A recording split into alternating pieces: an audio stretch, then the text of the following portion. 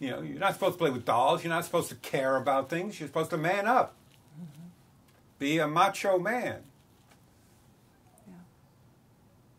I think that's part of normal. Yeah. But it's, you know, the manning up thing is about explicit power, and vulnerability is implicit power. And um, because it's implicit power, it's not as visible, right? So explicit power is a show of force, uh, but implicit power is the ability to influence things to happen. And it's through connecting to each other that we can cascade things through each other and connect and make things really transform.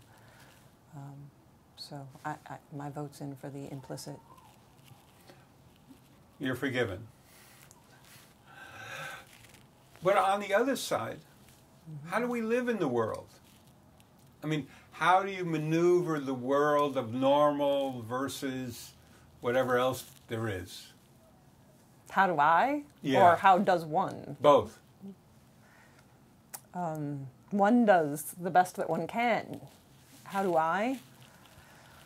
Um, I don't know. I mean, I, I guess I have some judgment about doing that badly. I, um, I live in normal. Um, I work.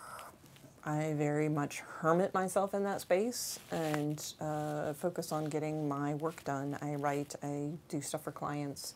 Whatever. I uh, communicate on Skype. I do my work online.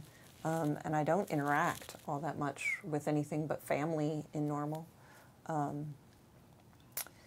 And then uh, once a month or every six weeks, I fly somewhere else, like San Francisco or Paris or New York. And then I have seven days of intense social interaction um, in which nobody believes it's possible that anybody could see so many people in such a short amount of time and have such intense presence, you know, during the course of it. But it's like, but you don't understand. For 30 days, I hardly spoke to anybody. and it's from that space that I'm able to go into these social spaces and, and really connect and be present.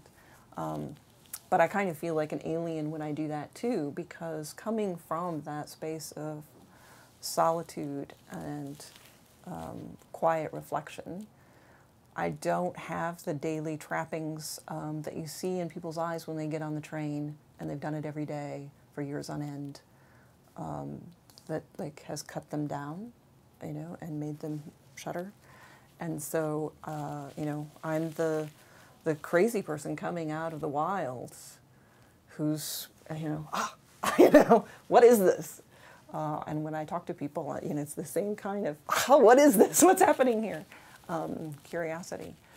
So, um, so I think a question that I'm living in right now is, how do I create more? uh, You know, is this the balance that I want to be striking? It, it was. I made that conscious choice a while ago.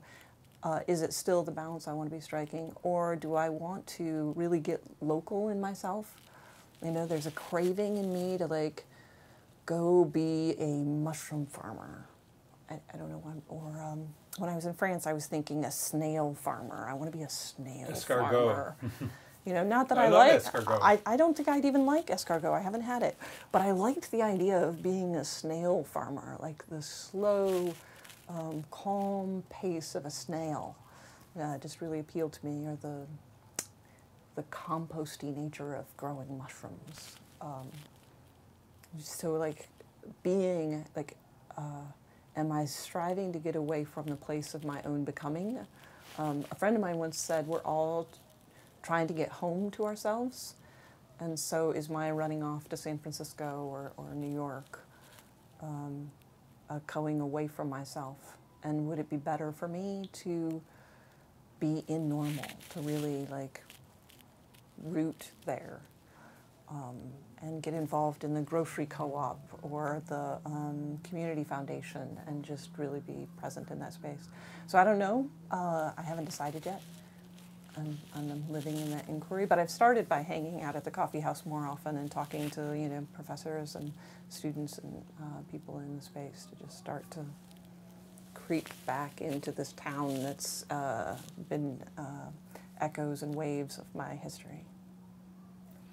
Interesting when you were talking about your reclusiveness. I, when people, I, I describe myself as a social recluse because I spend a lot of time also being quiet. And I eat quiet. And yet, here I am. And it's an interesting place to be a social rec- sociable recluse, is because you can. I grew up in New York, so I can pretty much be anywhere. But I love quiet, and and I, you thought about snails. I've thought about turtles. Not to harvest turtles, but the, uh, my favorite animal is the turtle because the turtle only moves forward